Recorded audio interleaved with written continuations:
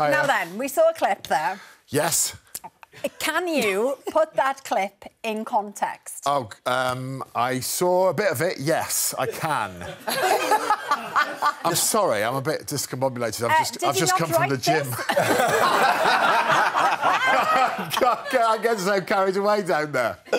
Um, that is um, the great Dame Harriet Walter. It is. is. Can you believe that like proper actors come and join me on this show?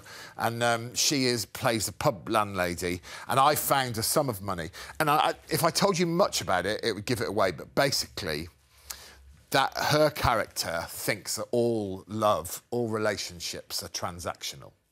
And my character finds some money, and then we have a big discussion about the nature of love and whether it is just a transaction or whether it's something a bit more romantic. On, on, on uh, Dame Harriet Walters, I, I have to say, I mean, I loved her in Succession. She was absolutely Oh, she's amazing, amazing. She's a phenomenal actress. What was her mindset, or I suppose a response, when you said to her you're playing a, a do- dodgy pub landlady then? Well, she she seemed remarkably keen to Oh, play really? a dodgy, yeah, and and because these people are like proper actors, they're able to, you know, my my if I want to change my character, I just talk louder or quieter. That's all I'm capable of. But like she she puts on a blouse and becomes an entirely different human being. Oh, so amazing, amazing to watch her. Yeah, she was brilliant. Now, now what's this about your, your character? Um, getting a makeover because of a new girlfriend, Yeah. Yes. apparently, right? But this kind of spilled over, no, into, into real life. So what, what was the makeover, first of all? Briefly, it And how did. did it spill over? well, he, I mean, really, he's just he's slicked his hair back a bit and he stuck an earring in and wore some different glasses. Okay. Because in the opening episode, he's going out with a, a younger woman, so he's trying to get a youthful look. It's heartbreaking, and I felt so sad because I've actually got my ear pierced from when I was like 19, and I hmm. felt so sad putting one back in.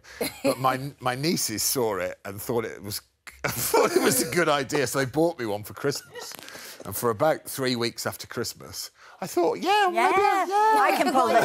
Why can't I wear an earring? Oh. And, and then after about three weeks, all of my friends individually told me why I can't wear it. so I took it out because I look like a sad old pirate. Um, can you do this?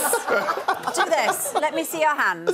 yeah. Let me see them. What about them? Okay. Well, we heard that you were most put out because the guy that came to do your stunts said no, you can't because his hands were too smooth and unwrinkled I mean- to be you. Is this true? You know, every day is a new humiliation for me, it seems. and, uh, and to be told that my hands are too old to be on screen. I yeah. think you've got lovely hands. Yeah, yeah, but they're not. Posh. But the stunt man they got, because they won't let me do any stunts, by the way. I thought you all, you did your own anyway, though. Yeah, I, I mean, I, in my mind, I'm Tom Cruise, but i i in the producer's mind, I'm a fat man who I, am not even allowed to fall over in case I hurt myself. they treat me like a nan. Oh. So, so um, they, they got a stunt man in, and they said, oh, you can have a break. We'll use the stunt man's hands for this, because it's just a hand scene, this next scene. Yeah. And then they came back out and went, you've got to come, his hands are too young. Oh, that is the. That's a low point. Oh, That's a low point. That's a real insult, isn't it? Um, let's move on to Taskmaster. Uh-huh.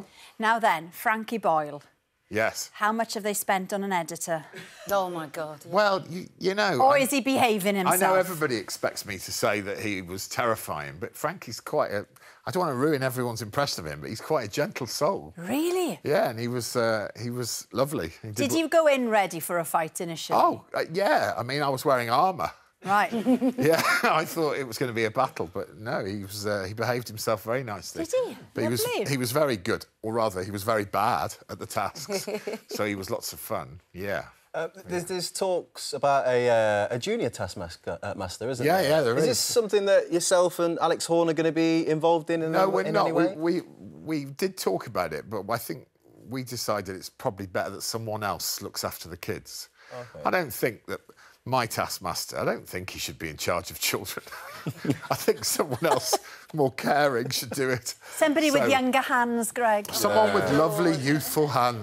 this is a good point, yeah. So I'm, um, we're passing it on to two other people, but I'm not allowed to tell you who they are. Oh, lovely. We're excited. You know, it's nice that the taskmaster. Yeah, will and it's a good expand. idea to do it for young Yeah. people, isn't it? Um, the Cleaner starts tonight at 9.30 p.m. on BBC One and is available to stream on iPlayer. If you haven't seen it already, Series 1 is there too, isn't it? Series iPlayer? one's there, and series two in its entirety is already on um, uh, iPlayer. Lovely. And there's so many brilliant guests Yeah. on So it. you can It's binge not it. just- Brilliant. So we want to make uh, my friend Roisin, Asim Chaudhry. There's so many great people sparring with me. Sorry. We've well, got the new five series of seconds Test left. Master starts Thursday, 3rd of March at 9 pm Channel 4. Have a lovely weekend. Thanks, Good night.